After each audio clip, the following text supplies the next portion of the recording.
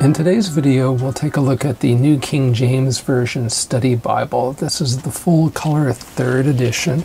This particular copy is in brown, two-tone brown, leather soft. Let's take a quick look at the box. It's a clamshell box that's easy to open. So you can store your Bible in that with ease.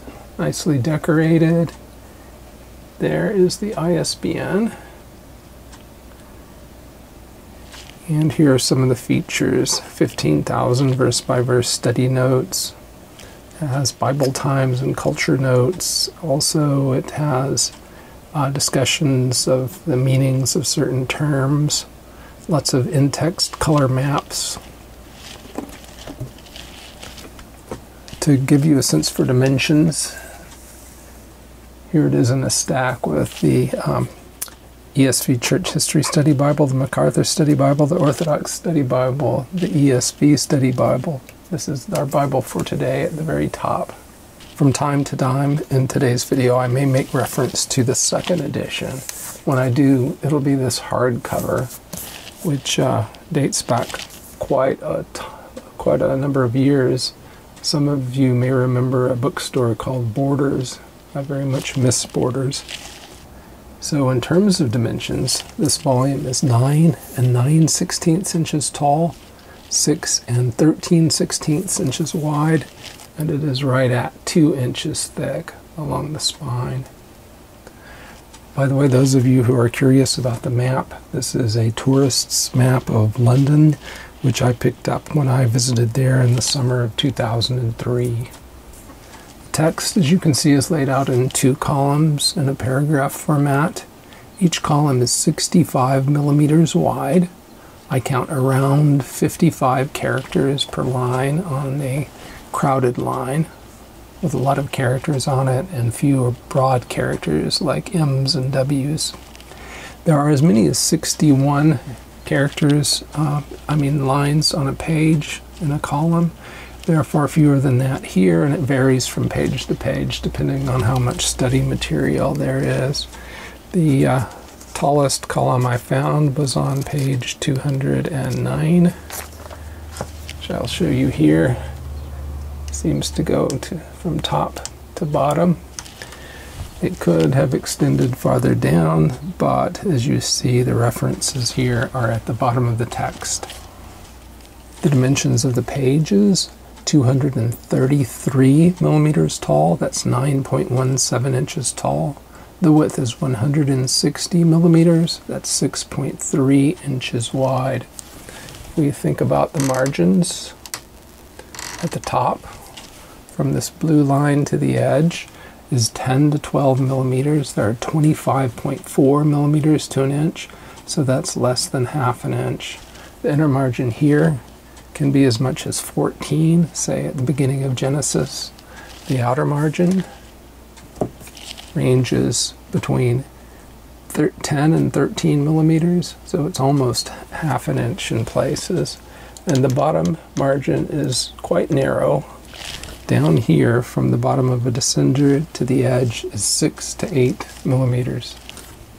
Now, looking to the right here, you should be able to see that the text is line matched to the text. So the text on the opposite side of the page lines up nicely here. The headings are not line matched to the text, so they're a little bit offset. And then as you move down here, where on the opposite side of the page we have references, you can see that those are not line matched. The notes, as far as I can tell, are line matched to the notes. So here I'm illuminating from the back side the notes, and you can see that they're lined up nicely. In the New King James Version, as you can see, words that the translators add for smoothing that don't represent a word in the original language, in this case Greek, are put into an italic font. And in the New King James Version, pronouns for deity are capitalized. In this edition, words are not self pronouncing, so you see no pronunciation signs over these words to tell you how to pronounce them. This is an old uh, King James Version Bible. It's an Oxford Long Primer from uh, the 1940s or so. And so you see the symbols that are used, how the words are broken up into syllables, and then how there are symbols used to tell you how to pronounce the vowels. Some translations use uh, Yahweh or uh, Jehovah, but um, the New King James Version uses the standard capital L, capital O, capital R, capital D to refer to the Tetragrammaton. In this edition, the words of Christ are in black ink. That's the way I prefer it. From time to time, viewers will ask me why. I've made a video on that topic. The most important reason I give in that video is that the red letters cause me eye strain. It actually hurts to read them after, uh, after reading for several minutes. The headings in the text are in about a seven point sans serif font. It's black and it's on all caps. Underneath some of the headings, you'll find references to similar or parallel passages. That's like what was done in the New International Version. So you see the same references there in the old NIV that you see here. So the big picture is we have two columns of text on each page. And then below that, we have the references. I prefer the references in the center column myself. And then before that, in a smaller font than the text, we have the notes. This is the third full color edition that you're looking at. Now I'm going to pull over the second edition and show you what that looked like. So here again, we had um, two columns of text in a paragraph by paragraph format. You had center column references offset in blue, which I like. Um, the titles, the headings are different. For instance, here at 117, it says the 70 return with joy, but in the old one, it had the return of the 70. So they've made changes there. And then as we look through the notes later, we'll see how the notes have changed, if at all. The comfort print font in the text is advertised as 9 point. When I compare to Times New Roman, capital letters like that A and that G are about the same height as a Times New Roman 8 point. The lowercase letters do compare favorably in height to Times New Roman 9 point. The line height, baseline to baseline, is 3.33 millimeters, which uh, computes to 9.4 points, a little over 9.4. And I think it looks good. You seem to have enough space between the lines that you can read it without uh, overly tiring your eyes. There is some print non-uniformity or fading, but it's very rare in this edition, at least in my copy. This page looks a little bit fainter than the page that I'm going to pull over the top, but you may not be able to see the difference on the camera. This does look a bit darker here. The uh, problem or the issue may be because this particular page is printed opposite one of the notes. This is a note called the Day of Rest. The references are placed below the text, as I've mentioned a couple of times now. The font here is about seven points. You have nine points in the text, seven points here in the references. As far as I can tell, the reference set is the full set that one finds in the New King James Version. Nelson used to advertise that as 72,000. I believe this edition also includes the full set of NKJV text and translation notes. Here you see a translation note at JEET, which you will in some editions not find. So if we look down below, you'll see the note embedded down with the references plunder you or take you captive. Similarly, there's a translation note here at Mark 6:20 where the New King James Version says, "When he heard him, he did many things and heard him gladly." If we look down below at the notes, we'll see that the more modern critical text says he was very perplexed. Each book has an introduction the book introductions are printed largely in an 8 to 9 point font. It's perhaps 8, 8.5 plus. The lowercase characters were a little smaller than Times New Roman 9. This is the introduction to the Acts of the Apostles. So you have some general overview information in a larger font. Then you have author, date, purpose, theology, Christ in the scriptures, and then alongside here we have a timeline of the major events that are outlined in the book. And if we follow on to the next page, I can get it to turn. The continuation of that last topic, and then at the bottom of the page, an outline of the book of Acts. Immediately after the introduction, the book begins. This is the way it is throughout the Bible.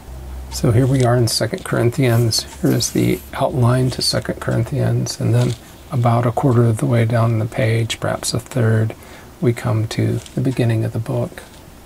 Book titles and contents. So the first verse on this left hand page is 2 Corinthians 2:4, and page numbers are in the outside tops of the pages. This makes it easy to navigate through the Bible as you're flipping through.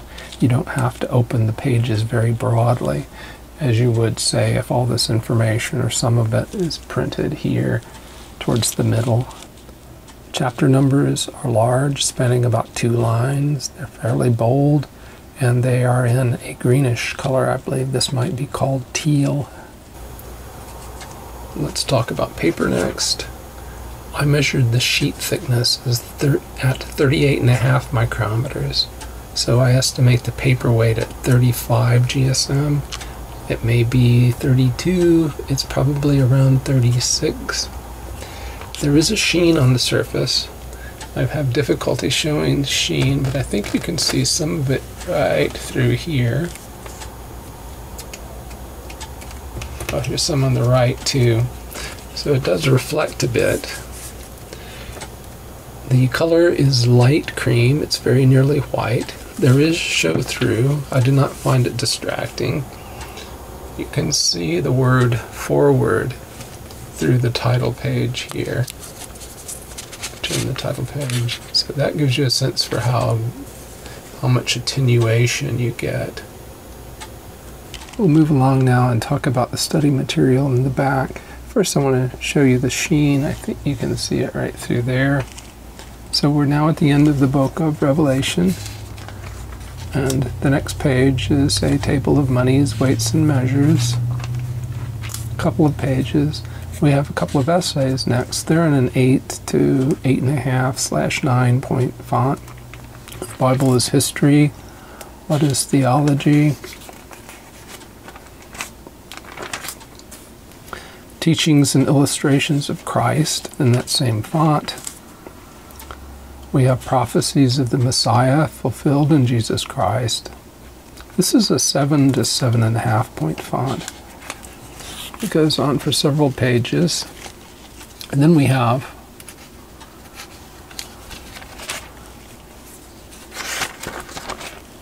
the parables of Jesus Christ, printed in the same 8 to 9, 8 to 8.5 point font as is the miracles of Jesus Christ and the prayers of the Bible. Then we come to a section called From Biblical Book to Contemporary Hook, printed again in that same font. I'll zoom in here and let you take a look at that. This is how we go from a particular biblical book, we show a theme, the Christ focus, implications, and what they're calling a hook so this section continues for several pages. As we said, it's in that 8 to 8.5 slash 9 point font. One of these entries for each book of the Bible. We then come to subject index to annotations and features. This is very useful. It's printed in a 7 to 7.5 point font. There are about 570 of these entries, headings, for the uh, for the annotations and features. Three columns, 7.5 point font, 16 pages. So this is somewhat useful, and we may use it later in order to analyze the footnotes, find a particular topic and look at uh, the notes that discuss that topic to get a feel for the character of the study Bible. At the end of that section, we come to the concordance. The concordance is in that same 7 to 7.5 point font. It's in three columns. It spans 182 pages, and I estimate about 5,900 keywords. I didn't count them, but I counted them on several pages, took the average per page, and multiplied by the number of pages. So I'll let you, let you take a closer look at these entries. I've turned forward now to the end of the concordance. You have the back side of the last page, last sheet of the concordance is blank. Then you have a complete blank sheet. Then the back side of following sheet is blank. There is a note regarding the type. And then we come to 14 color maps on this somewhat glossy paper. These maps are low detail, their color, they do not go into the gutter, so there's no geography lost in the middle of the page. 14 maps on 16 pages.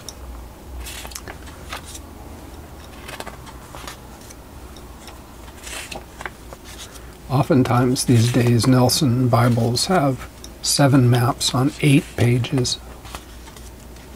At the end of the maps, we have a paper paste down or paste off liner. And let's take a look at the headbands and tail bands and such. So the headbands and tail bands are brown. Page edges are gold. This is one of those Bibles that you have to spend time separating the pages, fanning them apart to try to get them to separate, and perhaps sometimes twisting the pages to get them to break apart. Uh, two ribbon markers. One is red, as you see, one's black. They are 10 millimeters wide, 34 and a half centimeters long, and I think that they're long enough for use. They come out about that far at the corner, so it's easy to use from that perspective. The cover is brown leather soft. It has stitching around the edges of the page stitching between the panels. So you see two lines there. The binding is definitely sewn and you should be able to see the stitching alongside my finger there in the gutter. At the Old Testament title page, once you've broken the Bible in and separated the pages, then it lies fairly flat and open in Genesis. As you get deeper into the Bible, you'll notice a roll off into the gutter. So you'll need to flatten the page that you're reading in order to be able to have a level surface to read from. As we move into the Bible from the front, we have the same brown paste off liner. We have a presentation page, somewhat heavier paper cardstock. You have a half title in the full title. We've seen this page before. We looked at the word forward through it to check the opacity. This particular copy is printed in China. It is the fifth printing in 2023. There's a foreword which talks about the various materials here.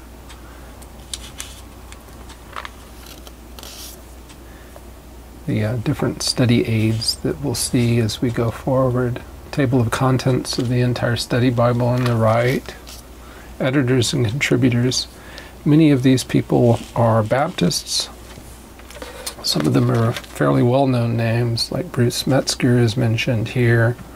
Um, Darrell Bock, name I definitely have heard before. John uh, Walvoord, um, I believe he's been dead for some time number of these uh, people are no longer with us. Bruce Metzger certainly isn't. Uh, Arthur Farstad has uh, a connection to the majority text, I know. Walter Kaiser is a famous apologist, I believe. special abbreviations that you'll find in the notes. So this explains to you what that NU that we saw earlier means, what an M in the margin means, what an MT means, what VG and TR have to do with. There's the preface to the King, New King James Version. Several pages. How to understand what the Bible means by what it says. So, how to interpret the Bible. Books of the Old and New Testament. Again, this is a 66 book Protestant Bible. Okay, so now on the right we see articles. We have special articles in the Bible. And this is the list of them. And then we have a different kind of article called Bible Times and Culture Notes and charts and diagrams, in text maps, and word studies. So all these things will be inset into the text of the Bible. And then we come to the Old Testament. So let's flip back and take a look at some of those that we saw there in the contents. So, under the topic of articles, this caught my eye Job, Satan the accuser. So we'll go look at um, page 730 and take a look at the article. And so here we are at page 730. We have an article, Satan the accuser. And you can pause and read that if you like. These articles are in a 7 to 7.5 point sans serif font. So they're uh, roughly the same size, as far as I can tell, as the footnotes. Here's the article on Satan the Accuser from the second edition.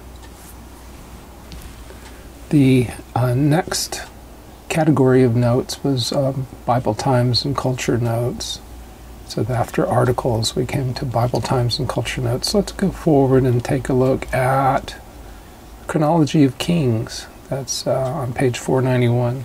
So here we are at the Bible Times and Culture Note on Chronology of Kings on page 491.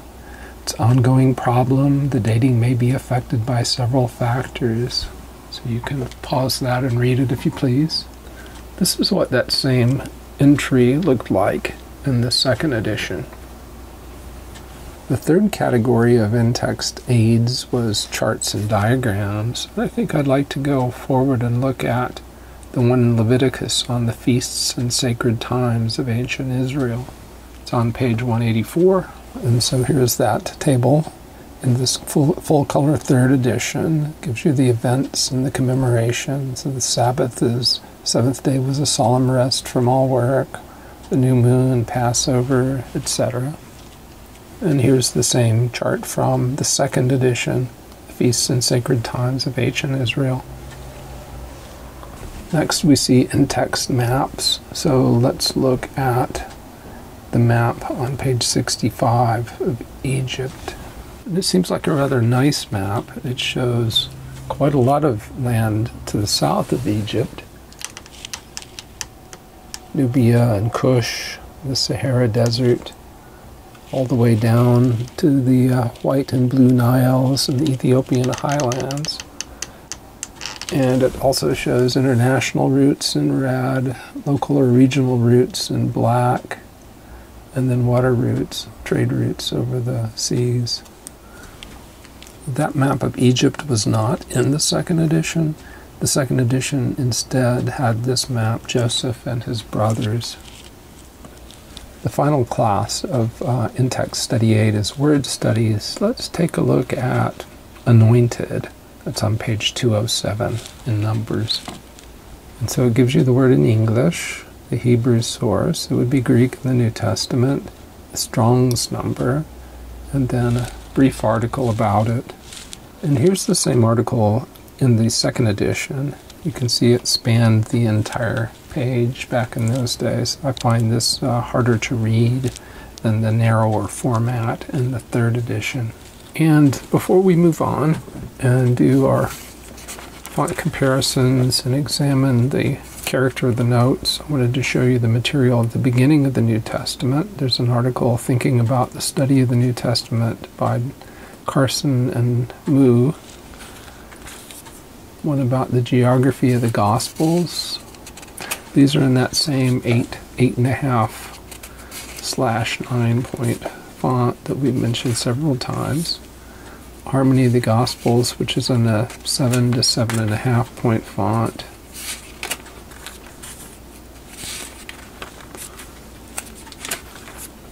And you come to the introduction to the book of Matthew, which is the same as format wise as we saw earlier. Begins with author and date, emphases, purposes, Christ in the scriptures. You have a timeline of events. Saying the crucifixion happened in 30 AD. Here is another close up look at the font before we move into font comparisons. So on the right is the third edition New King James Version Study Bible with a comfort print font.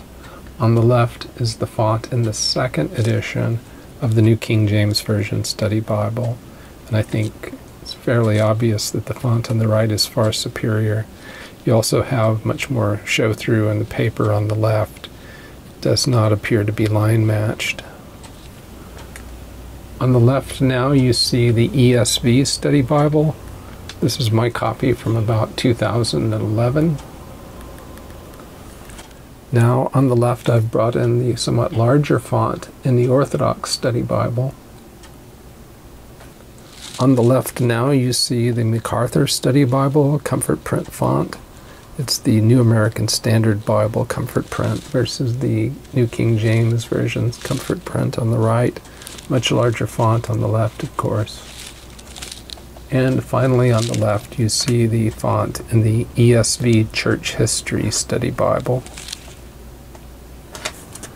So, in the interest of time, I'm not going to talk about the New King James Version as a translation very much, except to say that it's a modernization of the older King James Version, getting rid of the archaic word endings and uh, pronouns like thou and thee I have a number of charts that I've shown in the past that I will just flash up here on the on the screen. The translation continuum, the uh, departures from the Masoretic text. New King James Version rarely does that.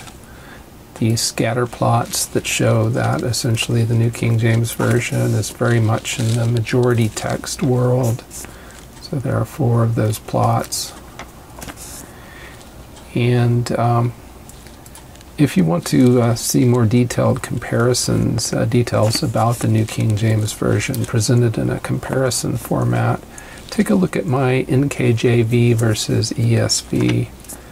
Um, I believe there are two of those uh, videos that are available at my channel.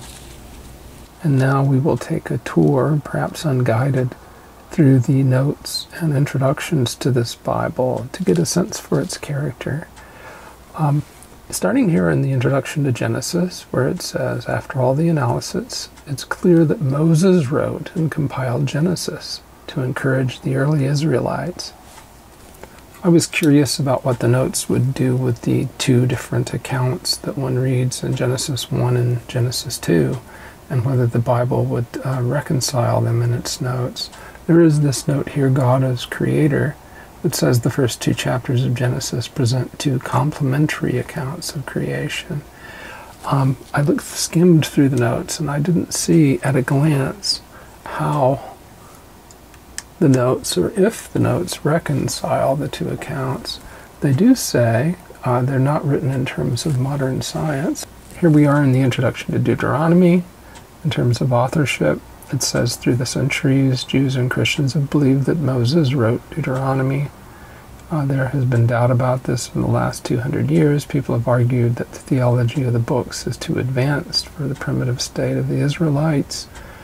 But others have maintained that Moses compiled Deuteronomy and wrote most of it. They argue that Mosaic authorship is supported by the book's con- consistent covenantal theology, etc. Then it goes on to say Deuteronomy is basically the last will of Moses.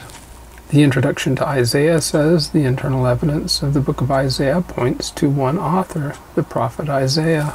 The introduction to the book of Daniel says there is no reason to doubt either that Daniel was a historical person or that he wrote the book that bears his name.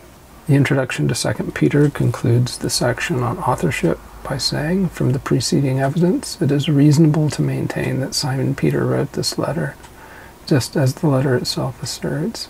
Next, we will use the subject index to the annotations and features to look at some topics that interest me, one of which is baptism. We'll take a look quickly at the article on page 1770 and the chart on page 1464, beginning with the chart. The chart on page 1464 is at the beginning of Mark's Gospel. It tells you the etymology of the word baptism, defines it, tells you about different types of baptism, and um, explains how it's prefigured in the Old Testament. Different types in the scriptures are Jewish, John's personal baptism, Jesus' personal baptism, spirit baptism, Christian baptism, and baptism by fire. And spirit baptism, it says, is that by which believers are, are joined to the body of Christ. Christian, it's hard for me to read that far over to the right, particularly as the text is wrapping into the gutter. Um, Christian baptism is a ceremonial act instituted by Christ that depicts a believer's union and identification with Christ. So here's the article on page 1770. We're in Ephesians chapter 4 here, and it talks about history of baptism a bit that early Christians interpreted the meaning of baptism in various ways. It was command uh, linked with the command to preach the gospel, and it concludes here by saying we cannot but draw from this history the inference that in Christian baptism there was a deeper spiritual significance, I believe, than in the baptism of John, is what they're referring to there in context. While we're here in Ephesians, I just wanted to show you that there's an article on the Trinity in the Bible on the opposite page. You can freeze that, pause that, and read it if you like. So we're back in the subject index now, and it says that there is an article on the Lord's Supper on page 1452. The article about the Lord's Supper relates it to the past, present, and future. It's a time of remembrance and Eucharist that relates to the past. The supper is a time of refreshing and communion, present. Third, the supper is a time of recommitment and anticipation, the future. Under the topic church, there's a word study on page 1932 and a chart on page 1902. We'll look at the chart first and then the word study. This is the chart on church leaders. Essentially, it has them under two different headings overseers, bishops, elders which it classes together, and deacons. And I will lift this up so that you can read what it says later on about the meaning, responsibilities, qualifications, and qualifications again, first from 1 Timothy 3, and then from Titus 1. The article on church is in 3 John, page 1932, gives you the Greek for it ecclesia, and it gives you the Strong's number. Says it means an assembly. Uh, it talks about how it can be used as of a single congregation or the whole body of Christians. The um, Christians of each city, according to the overall pattern of the New Testament, were unified under one group of elders. Within the local church in the city, there were probably several assemblies or meetings of believers held in various homes. The subject of women teaching in church is of interest to a number of people. So let's take a look at the footnote at 1 Timothy 2:12. So the New King James Version at 1 Timothy 2:12 reads, "And I do not permit a woman to teach or to have authority over a man." So at have authority over a man, we have this bold red line to indicate that's what the phrase is dealing with here. Uh, the word seems to indicate that teach is defined by the phrase have authority over a man. It seems best to understand this passage as teaching that women may exercise their spiritual gifts in a variety of ministries in the local assembly as long as these gifts are exercised under the appropriate leadership of men. Other commentators have viewed this verse as an example of Paul using his apostolic authority to curb the spread in Ephesus of false teaching that apparently was becoming popular among some women who had not been properly instructed. In the subject index to the annotations and features on page 2016, we see salvation, scripture, and second coming very close to each other. Let's take a look here at the article Salvation on page 1678. The article on salvation is here in Romans chapter 1. It talks about the Old Testament background, a New Testament concept. Paul's concept in Romans, it says that Paul and the other authors portray Jesus Christ as the author and provider of salvation and its blessings. What are those blessings? Theologians use the terms justification, sanctification, glorification. It mentions that regeneration is closely connected to justification. It says nothing about a union with Christ, which is kind of interesting. On the topic of Scripture, there was a note in the index pointing us to 2 Timothy 3.16. This is the, the note here uh, where it says that Paul teaches in this verse that uh, what does the verse say 316 all scripture is given by inspiration of god and is profitable etc scripture is true in all that it affirms and is completely authoritative because god is the author then he talks about how um, doctrine reproof correction and instruction these uses are um, that of them only one of them is oriented to knowledge and information, that is doctrine. The other three in the list involve a change of life. Knowledge that does not change one's life is useless. So, one of the entries under Second Coming is um, interpreting Revelation, which talks about the preterist, historicist, idealist, and futurist views, then about the meaning of the thousand years, amillennial postmillennial and premillennial views. Then it gives more details on the pre the variety in the premillennial world, and uh, ends by saying that uh, the central idea on which all these views agree is that Christ will return some point in the future. We saw earlier that there's a chart in the back called Prophecies of the Messiah Fulfilled in Jesus Christ. There's an entry here in Zechariah 12:10 where the author talks about they look on me whom they have pierced they will mourn for him as one mourns for his only son and this uh, subject of being pierced through the hands and the feet is fulfilled in john so i'd like to go back to see what the note at zechariah 12.10 says so the note at 12.10 on the topic of me whom they have they pierced begins by talking about jewish commentators who often regard this as a corporate reference to the Jews killed in the defense of Jerusalem. The Jewish Talmud views the text as referring to the Messiah who will be pierced in battle. The Messianic view is favored by the fact that Jesus was pierced with a spear after his death on the cross. So I hope you've enjoyed this overview of the New King James Study Bible, third edition. Has very nice illustrations throughout. Quite a lot of commentary. Nice articles, interesting. Um, the thing I like most about it is the comfort print font and the opacity of the paper with the line matching of the text. That I think is, uh, although in all those ways, it's an improvement over the second edition, which you see here. The one thing I like about the second edition that I don't like uh, here. The second edition has center column references, which I prefer. Otherwise, I think in just about every way, the newer edition is superior.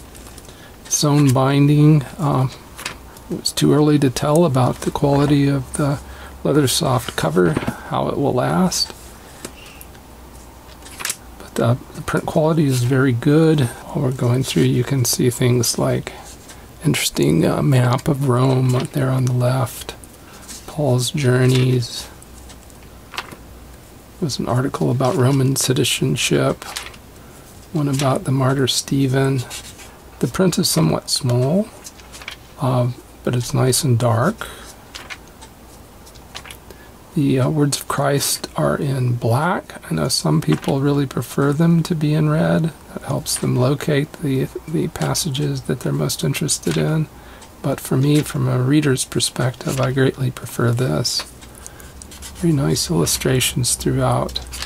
So, uh, thank you for your time for watching this video overview of the New King James Version Study Bible. Uh, remember to like, uh, comment, uh, share it with your friends, and uh, thanks again.